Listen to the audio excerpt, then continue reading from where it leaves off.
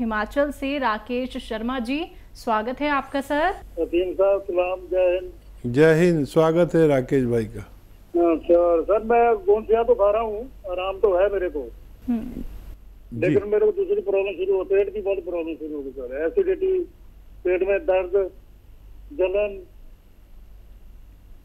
हम्म हम्म। तो कुछ है नहीं आपके पास नुस्खों में से मेरे नुस्खों में से? हाँ कोई? कोई नुस्खा आपके पास है?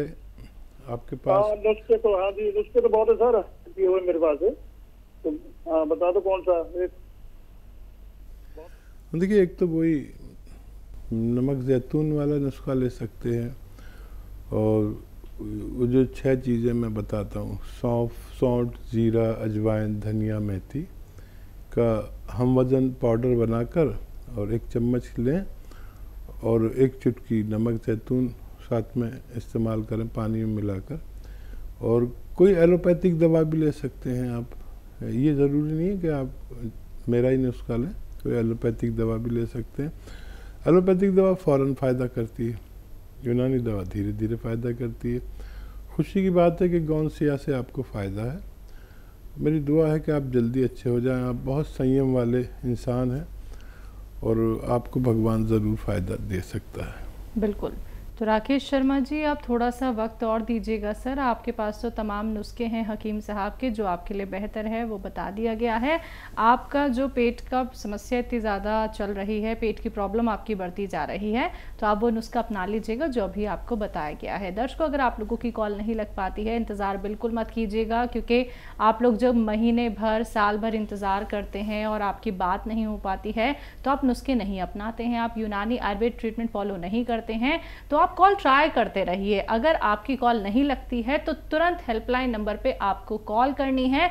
वहाँ से भी आप लोग जान सकते हैं वो अच्छे अच्छे कीमती नुस्खे जो आपको पहुंचाते हैं हकीम साहब, क्योंकि वो पहले हकीम साहब से डिस्कस किए जाते हैं, फिर आपको बताए जाते हैं। तो बिल्कुल भी देरी मत कीजिएगा। अगले कॉलर हैं हमारे साथ। स्वागत है आपका। हेलो हेलो जी। आपका नाम क्या है सर? हाँ मैडम नमस्कार। मनसाराम जी मनसाराम जी नमस्कार। आपका सवाल सर? हाँ मैडम मैंने आपसे बात किया था तो हमें प्रोस्टेट की समस्या थी। हम्म। तो हमने सर ने बताया था बच्चे साहब ने हम्म। कि वो ये लाजवंती अलसी और नमक जैतून वगैरह का। हम्म तो मैं ले मंगा लिया तो मैं ले रहा हूँ।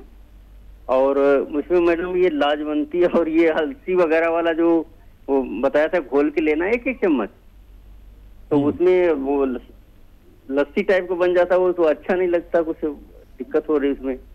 और एक चीज़ मैडम समस्या ये हमारी है कि वो हमें हाइड्रोसील हुआ था तो एक ऑपरेशन हमने करा लिया था एक का नहीं कराया था हल्का है थोड़ा बड़ा हुआ। जी जी। तो उसमें दर्द रहता है गोलियों में थोड़ा सा तो ये प्रॉब्लम है। और दूसरी मैडम अभी मैंने जो कराया था ना उसका किडनी के थोड़ा वो- ही प्रोस्टेट के में तो राइट पोल में सिस्ट थोड़ा बड़ा हुआ है। सेवनटीन एम एम बताया उसने। One seven double M M M करके इसे। और उसे थोड़ा सा फ़ायदा जैसे मैं नमक जैतून ले रहा हूँ तो थोड़ा फ़ायदा है हमको। पंद्रह दिन हो गया करीब लेते हुए। ठीक। है अच्छा देखिए इसको घोल के भी ले सकते हैं और गोलियाँ भी बना के रख सकते हैं इन सबको। हल्का सा पानी मिलाकर गोलियाँ बना लें। क्योंकि ये चिपकता तो है, रबड़ की तरह हो जाता है पानी मिलके तो बहुत ज़रा सा पानी डालें, इनको सबको पीस कर वो गोलियाँ बना लें चने की बराबर। तो दो दो गोली, दो बार, तीन बार आप ले लिया करें पानी से या दूध से। तो इससे आपको फ़ायदा तो शुरू हो ही गया है, और ये ख़त्म होते होते आपको पूरा फ़ायदा भी मुमकिन है। खूब भगवान से मदद मांगे, फ़ायदा शुरू हो गया, आप बहुत जल्दी अच्छे होने वाले हैं। और सिस्ट के लिए आप एक आता है नमक, जैतून जो आप इस्तेमाल कर रहे हैं, इसी का एक सिरका भी आता है। वो सिरका, जैतून का लें, दो चम्मच, और एक चुटकी खाने का सोडा उसमें डाल दें, दो चम्मच सिरके में, और पानी में मिला दें। मिक्स करके एक बार पी लिया करें रोज़ाना तो मुझे उम्मीद है कि आपके इस मर्ज़ में भी शिफा होना मुमकिन है। हाइड्रोसिल की बात इन्होंने ज़िक्र किया है हाँ वो तो ऑपरेशन आप करा चुके हैं और एक तो वज़न नहीं उठाना चाहिए ऐसे मरीज़ को और हमारे गाँवों में तो एक होती है लंगोट जो पहलवान लोग बांधते हैं वो लंगोट बांधा करिए या फिर स्किन टाइट नेकर लंगोट सबसे अच्छा है वो इसमें इसको टाइट रखती है। जितना आप इसको टाइट रखेंगे उस जगह को उतना आप फ़ायदे में रहेंगे। काफ़ी दिन तक लंगोट का इस्तेमाल करें। जी। राजस्थान से है कृष्णा जी स्वागत है आपका। हेलो। हाँ जी नमस्कार मैडम। जी नमस्कार मैम। हाँ, मैम मैं ये पूछ रही थी ये जैतून का सिरका मंगाया डॉक्टर साहब को जो वो खाने से पहले देना है या बाद में? जी। हाँ खाने से बाद लेना बेहतर है। दो चम्मच। खाने से बाद में लेना होता है। जी। दो चम्मच पानी में मिलाकर आप ले सकते हैं या खाने में भी डाल सकते हैं। सब्ज़ी में डाल दें दो चम्मच। इस तरह भी इस्तेमाल इसका किया जाता है। एक बार या दो बार। अपनी ज़रूरत के हिसाब से आप दो बार भी ले सकते हैं। आपको फ़ायदा मुमकिन है। जी। एमपी से है। नेहा जी स्वागत है आपका। नमस्ते सर हेलो जी। जी जय हिंद स्वागत है आपका एमपी वालों। Hello sir. जी। मेरी उम्र ट्वेंटी टू है। हम्म। और सर मुझे ना पीसीओडी का प्रॉब्लम है और सर पेट पे बाल आ रहे हैं। ठीक। जी। अच्छा देखिए अ, अलसी खरीदें। दो चार सौ ग्राम, ज़्यादा सी खरीद लें अलसी। और उसमें हल्का सा भूनना है इसको। ज़्यादा नहीं, बहुत ज़्यादा नहीं, हल्का सा भून कर पाउडर बना लें। और एक चम्मच अलसी का पाउडर और एक चुटकी नमक जैतून आता है एक। दुनिया का बेहतरीन नमक कहलाता है। ये रॉ मटेरियल है। एक गिलास या दो गिलास पानी में एक चुटकी ही डालना है। और एक चम्मच अलसी खाएँ और ये पानी पी लें, जिसमें नमक, जैतून आपने मिलाया है। ये नमक, जैतून स्वाद में नमकीन नहीं होता और पानी मिलके तो इसका जायका भी नहीं रहता। तो ये मुमकिन हो तो दो गिलास पानी में मिलाकर आप पी लिया करें। आपको फ़ायदा मुमकिन है। बिल्कुल। हकीम साहब बच्चियों में समस्या बहुत ज़्यादा देखी जाती है। पीसीओडी को लेके उन्हें कई कई महीने तक डेट्स नहीं होती हैं और वो बहुत सारे एलोपैथिक दवाइयाँ भी खाती हैं। तब भी उन्हें राहत नहीं मिलती है। देखिए समझना होगा कि हम जिसे रोग समझ रहे हैं वो रोग है या नहीं है। बिल्कुल। एक तो सेहतमंद इंसान को ये प्रॉब्लम होती नहीं है। और होती है तो कभी इतफाक से हो जाना कोई बात नहीं है। फिर अगर मैंसेज नहीं होते तो देखें कितना ब्लड है आपके अंदर। वो कम है तो उसका इलाज करें। और कोई और समस्या है तो उसका इलाज करें। अधिकतर लोग, लोगों को चाहिए कि अपने रोग पर काम करें। और ये जो मैंने नुस्खा बताया, ये जो दो तीन वजह होती हैं इसकी पीसीओडी की, उन सबको अच्छा करते हुए फ़ायदा पहुंचाता है। ये रॉ मटेरियल है। असली ज़रूर लें। असली लेना ज़रूरी है। तो ये अगर वर्म होता है तो वो उससे दूर होता है। अगर इन्फेक्शन है तो उससे दूर होता है।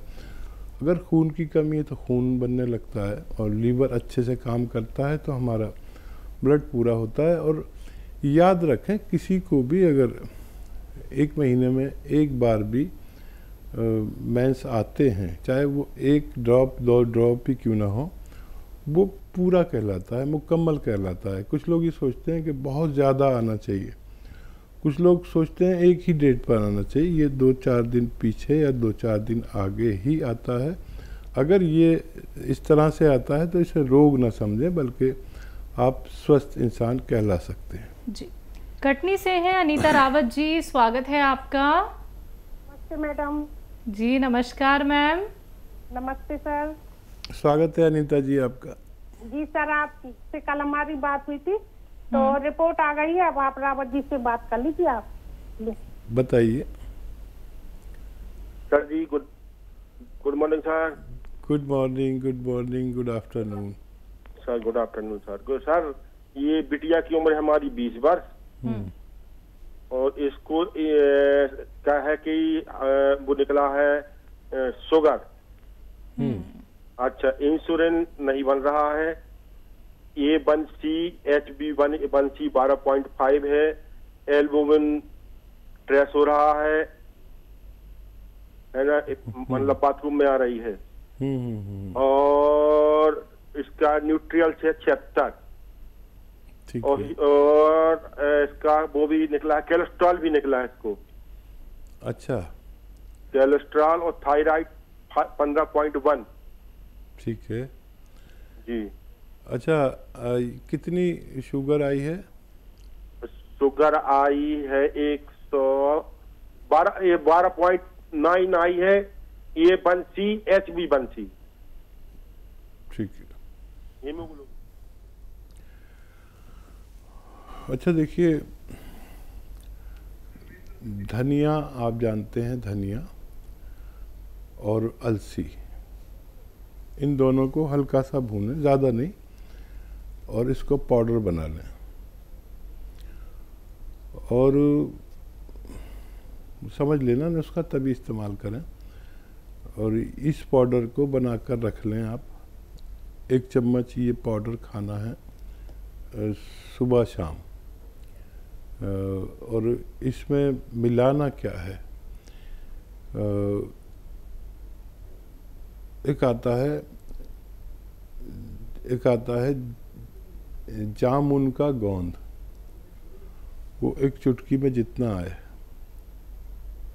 इसमें मिलाकर दिन में एक बार देना शुरू करें और ये जो धनिया अलग अलग रखें, जामुन का गोंद पाउडर बना के अलग रखें, जैसी ज़रूरत होगी उस हिसाब से देंगे। पहले एक खुराक दें, एक चुटकी, एक चम्मच इस पाउडर में मिलाकर। और दूसरी जो खुराक होगी इसकी बच्चे की, वो होगा, धनिया और अलसी वाली खुराक। उस, उसको रात को खिलाना है, लेकिन उसमें नमक, जैतून एक चुटकी। एक गिलास दो गिलास पानी में मिलाकर इस बच्ची को दूसरी खुराक उसके साथ देना।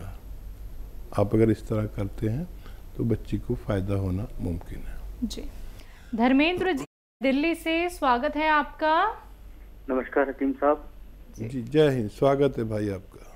मैं सुबह आपका प्रोग्राम देख रहा था।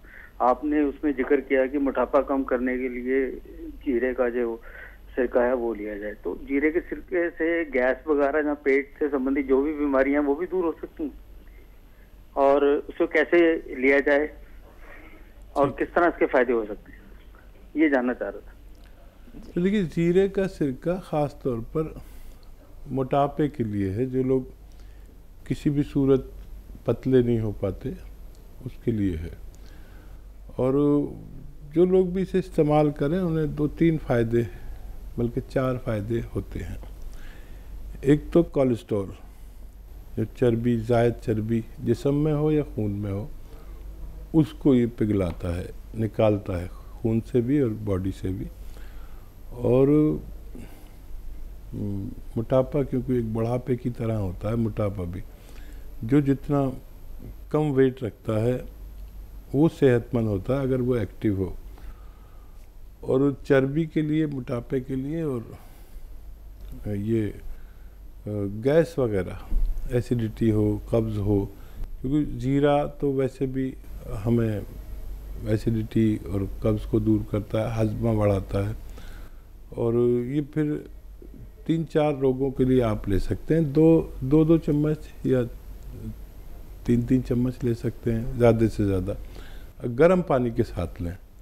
और ये ना करें कि बस इसी पर निर्भर रहें। पैदल भी चलें एक घंटा और गर्म पानी भी खूब पिया करें।